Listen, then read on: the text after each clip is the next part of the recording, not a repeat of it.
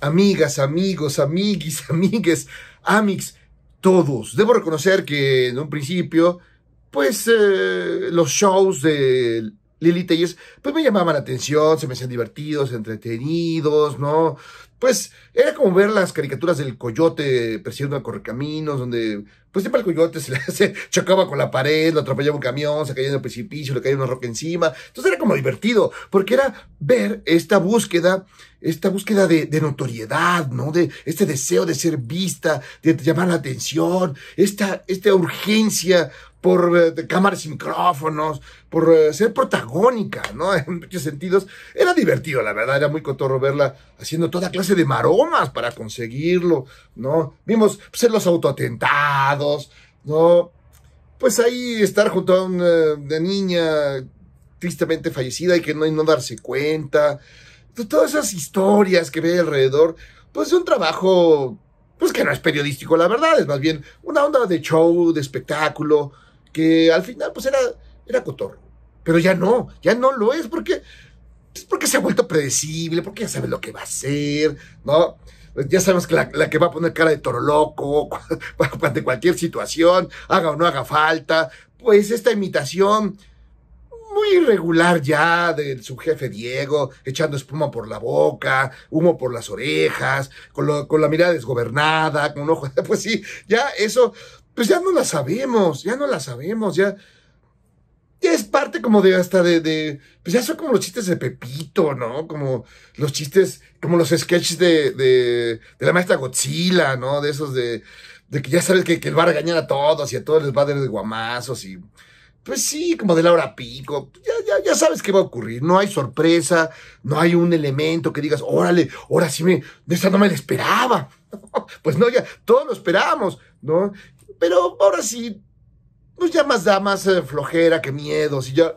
Uh, no, ya no llama la atención. Aunque pues sí, hay que, hay que eh, señalar que pues no se vale que haga sus numerazos.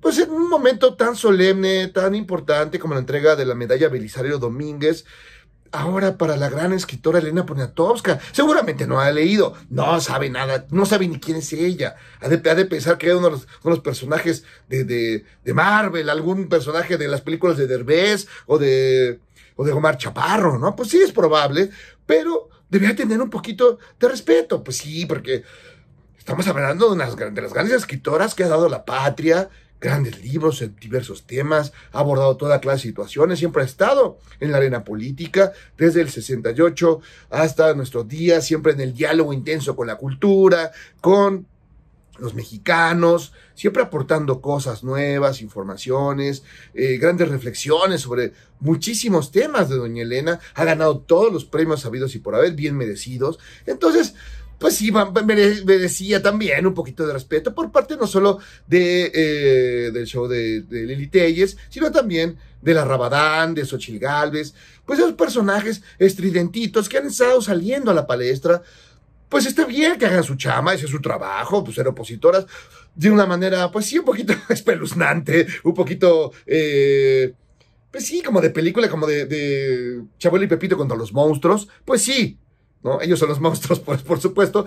Entonces, pues está muy bien, pero hay momentos de que podrían guardarse, podrían guardarse, ¿no?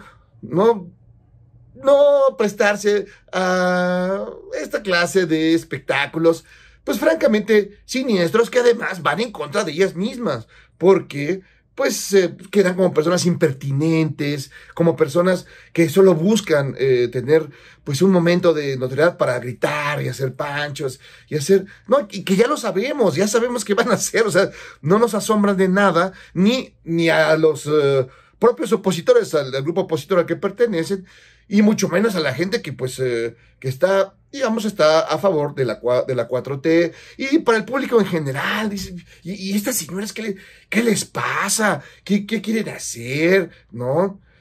Ya nos aburren. Pues cámbiale de canal, porque ese canal ya, esa telenovela ya la vimos, ¿no? No, no, más falta, ya, ya dicen, ya, ya no me das miedo, Teresa, la verdad.